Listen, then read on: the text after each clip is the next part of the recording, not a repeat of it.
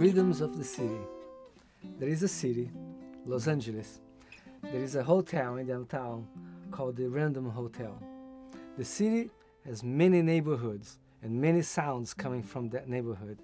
The hotel has 40 rooms, and we want to put all those rhythms and all those sounds from the city in each one of those rooms. We're gonna record a street musician and invite him or her to come and play in one of the rooms, a band, and then the room. And that's the idea.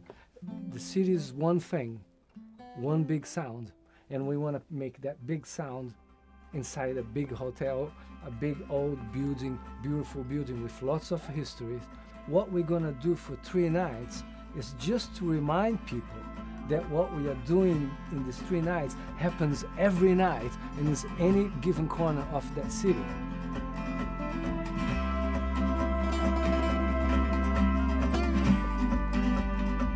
And it goes.